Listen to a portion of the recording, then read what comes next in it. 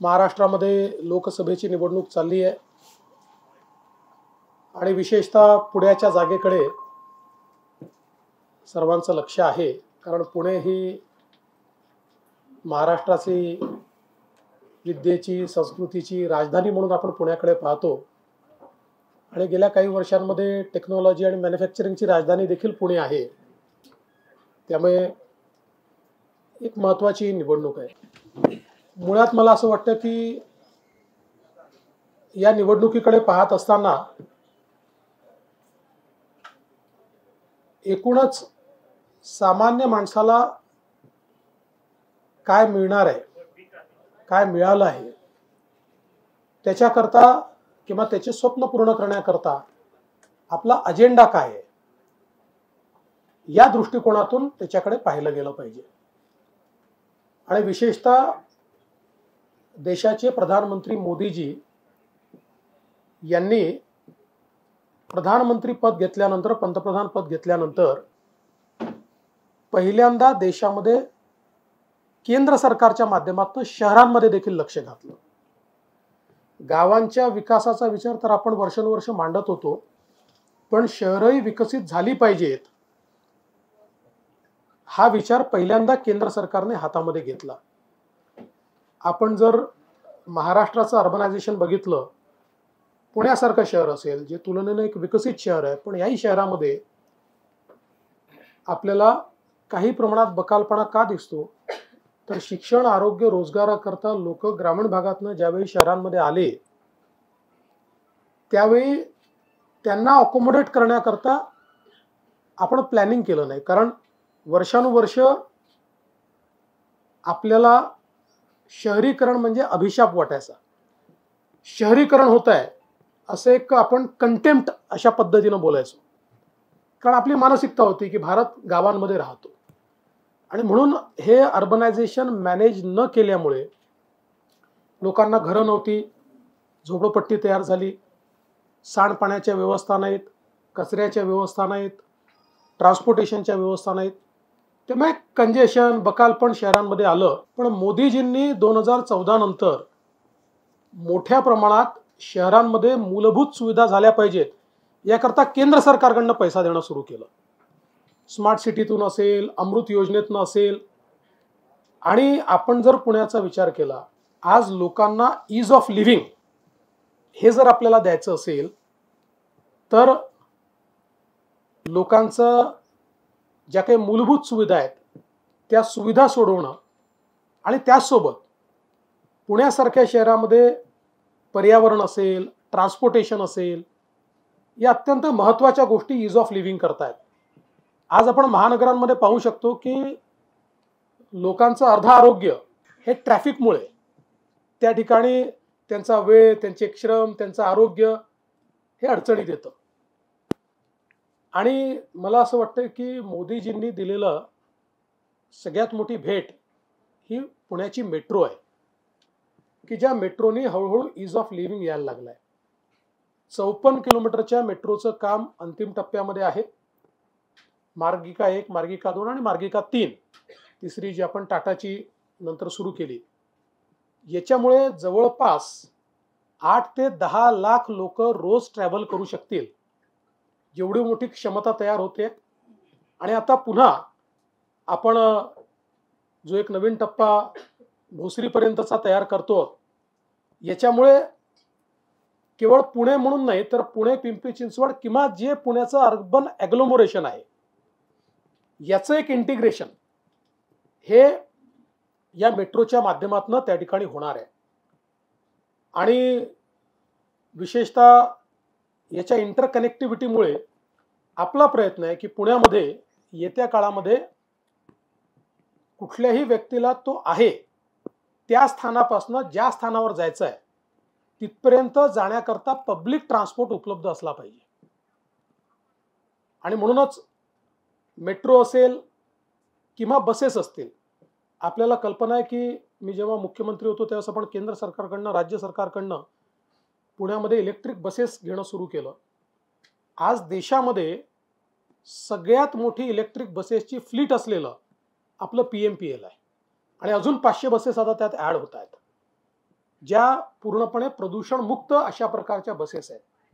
त्यामुळे ट्रॅफिकचं इंटिग्रेशन हे आपण एकीकडे त्या ठिकाणी करतो आणि दुसरीकडे इन्फ्रास्ट्रक्चर देखील आपण वाढवतो. आपण बघितलं असेल चांदणी चौकाचा पूल असेल किंवा आता विशेषतः पुणे एक असं वाढतं शहर आहे की ज्याला रिंग रोडची प्रचंड आवश्यकता होती. आणि अनेक वर्षापासून रिंग रोडचं काम प्रलंबित होतं.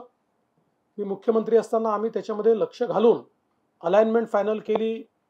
त्याचं ॲक्विशन चालू केलं. आणि आता पुन्हा या ठिकाणी सरकारमध्ये आल्यानंतर अजितदादा देखील आमच्यासोबत आहेत. शिंदेसाहेब मी अजितदादा आम्ही लक्ष घालून आता जवळपास मोठ्या प्रमाणात आमचं ॲक्विशन झालेलं आहे. आउटर रिंग रोड आणि इनर रिंग रोड हे दोन्ही रिंग रोड जे आहेत हे पूर्ण झाल्यानंतर फक्त पुण्याच्या ट्रॅफिकचं इंटिग्रेशन होईल असं नाही आहे या रिंग रोडमुळे पुण्यामध्ये जवळपास अडीच लाख कोटी रुपयाची व्हॅल्यू तयार होईल. पुण्याची जी अर्थव्यवस्था आहे पुण्याचा जो जी डी पी आहे या जी डी पीमध्ये एक मोठं कॉन्ट्रीब्युशन या रिंग रोडमुळे येणार आहे. आणि जे काही पी एम आर डी एचं जे क्षेत्र आहे हे क्षेत्र सुनियोजित पद्धतीनं विकसित करण्याकरता आपल्याला त्याचा एक मोठा फायदा होणार आहे.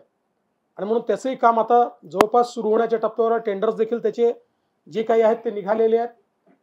आणि म्हणून मोबिलिटीचा आपण जर विचार केला तर सस्टेनेबल मोबिलिटी ही पुण्याला त्या ठिकाणी तयार करण्याचं काम आपल्या सरकारने केलं.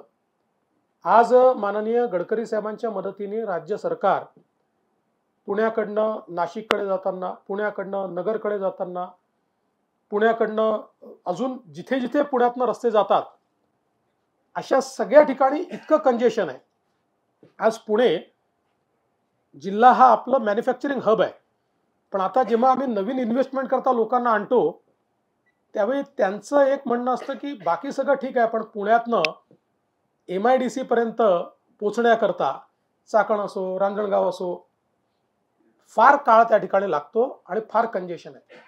आता त्याचा एक इंटिग्रेटेड प्लॅन आपण तयार केला गडकरी साहेबांच्या सोबत आणि राज्य सरकार आणि केंद्र सरकार मिळून. त्या ठिकाणी डबल डेकर एलिव्हेटेड रोड्स हे आपण तयार करतो जे माझा अंदाज आहे की याच वर्षी त्याचं काम आपण सुरू करू शकू आणि तीन वर्षात ते पूर्ण होतील. आणि त्यामुळे पुण्यातनं बाहेर जाणारा जे ट्रॅफिक आहे त्याला एक सिमलेस कनेक्टिव्हिटी मिळेल. आणि रिंग रोडशी त्याचं इंटिग्रेशन झाल्यामुळे एकूणच पुण्याच्या ट्रॅफिकच्या समस्येला एक महत्त्वाचं वळण किंवा एक महत्त्वाची शिस्त या माध्यमातून आपण लावू शकू. दुसरं आपल्याला कल्पना आहे की इंटिग्रेटेड ट्रॅफिक मॅनेजमेंट सिस्टीम ही पुण्यामध्ये आत्ता आपण त्या ठिकाणी तयार करतोय त्याचं काम चाललेलं आहे अंतिम टप्प्यामध्ये आहे. आता गुगल सोबत एक आपण करार केला आहे आर्टिफिशियल इंटेलिजन्सचा आणि त्याच्यामध्ये आत्ता जी काही आपण इंटिग्रेटेड ट्रॅफिक मॅनेजमेंट सिस्टीम वापरतो तर ती आत्ता गुगल इमेजरीचा वापर करून आणि ती प्रेडिक्टिव्ह आहे. म्हणजे त्याच्यात लक्षात येतं की कुठे ट्रॅफिक किती आणि त्याच्या आधारावर लाईट्स किती वेळ ठेवायचे? हे ठरतं आणि त्याने ट्रॅफिक थोडा फास्ट होतो. आत्ता ही जी नवीन पद्धत आपण घेतलेली आहे या पद्धतीमध्ये जो आपण मागच्या काळामध्ये सी सी टी व्ही कॅमेरे लावले पूर्ण पुण्यामध्ये त्याचा दोन तीन वर्षाचा जो डेटा आहे या डेटावर आर्टिफिशियल इंटेलिजन्सचा वापर करून त्या माध्यमातनं त्याचे मॉड्यूल्स तयार होणार आहे आणि त्यातनं ट्रॅफिकचं प्रिडिक्शन होऊन ही आपली ट्रॅफिक मॅनेजमेंटची सिस्टीम ही काम करणार आहे. त्यामुळे अतिशय एफिशियंट अशा प्रकारची traffic management system A I based अशा प्रकारची आपण पुण्यामध्ये त्या ठिकाणी करतोय. आज आपण पाहतोय की दुसरीकडे केंद्र सरकारच्या मदतीने पुण्यामध्ये आपण ट्वेंटी फोर बाय सेवनची योजना ही कार्यान्वित केली. अजून पूर्ण व्हायला एक दीड वर्ष त्याला लागतील. पण आज पन्नास टाक्या त्यातल्या पूर्ण झाल्या आहेत. तीस पस्तीस अजून त्या ठिकाणी होत आहेत. या योजनेचा फायदा काय आहे? तर आज आपण जेव्हा पाण्याचा विचार करतो त्यावेळी साधारणपणे दरवेळी ही टीका होते प्रति माणशी सर्वात जास्त पाणी पुण्यातलं मिळतं. पण ऍक्च्युअल पुणेकरांना जर तुम्ही विचारलं ते म्हणतात आमच्याकडे पाणी येत नाही. कारण शहर वेगानं वाढलं आणि त्या वेगानं डिस्ट्रीब्युशनची सिस्टीम आपण अपग्रेड करू शकलो नाही. ऑगमेंटेशन केलं पण डिस्ट्रीब्युशन केलं नाही. आता हे जे काही ट्वेंटी फोर बाय सेवनची योजना ज्याच्यामध्ये आपल्याला अमृतमधनंही पैसे मिळाले आहेत केंद्र सरकारकडनंही मिळाले आहेत आणि राज्य सरकारकडनं मिळाले आहेत. पुढे महानगरपालिकेने आपला हिस्सा दिला आहे.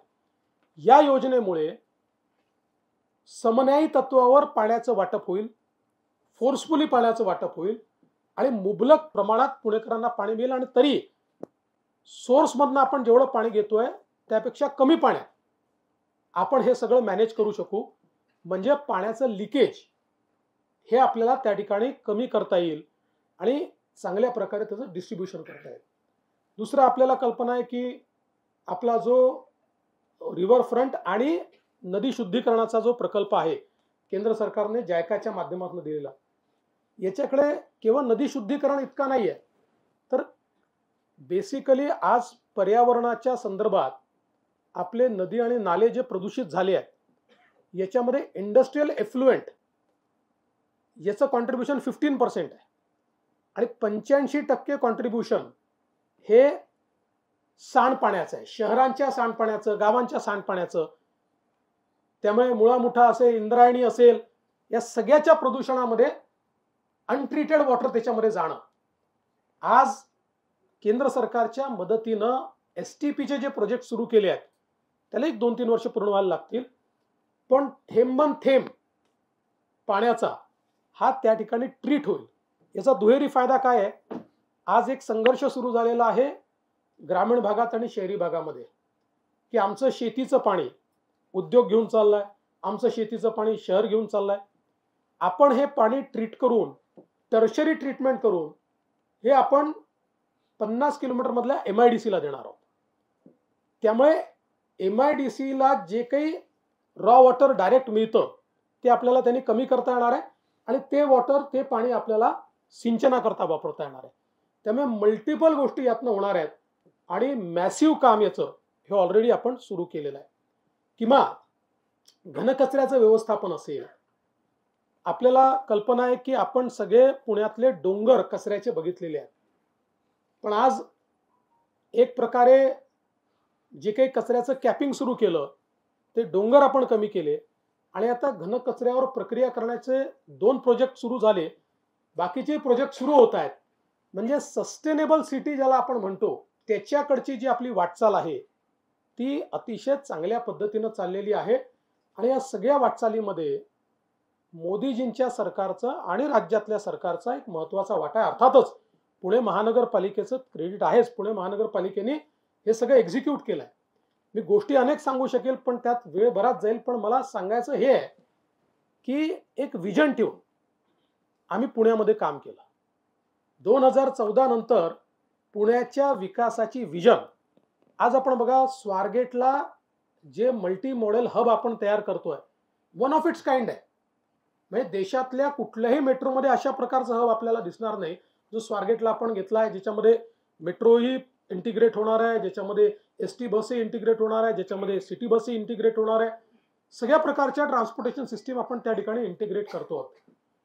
या विजननी काम करण्याचा प्रयत्न आपण पुण्यामध्ये केलेला आहे. आणि मला विश्वास आहे कारण मी हे बघतोय की पुणे जसं मुंबईने अनेक वर्ष महाराष्ट्राच्या अर्थव्यवस्थेला अर्थव्यवस्थेचा कणा म्हणून काम केलं.